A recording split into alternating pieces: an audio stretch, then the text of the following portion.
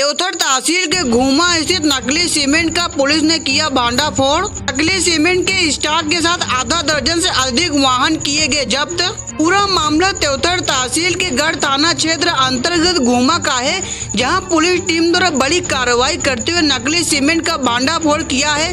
वहीं नकली सीमेंट के भारी मात्रा में स्टॉक के साथ दर्जनों वाहन को भी जब्त किए गए हैं। बताया गया कि रीवा कलेक्टर मनोज पुष्प एवं एसपी नवनीत बसिन के निर्देश एवं मार्गदर्शन पर त्योथर एसडीओपी समरजीत सिंह एवं चाक घाट थाना प्रभारी अरविंद सिंह राठौर की संयुक्त टीम द्वारा उक्त घुमा स्थित नकली सीमेंट बनाने वाले स्थल पर दबिश दी गई थी, जहाँ 2000 से अधिक नकली सीमेंट की बोरिया बरामद की गई है।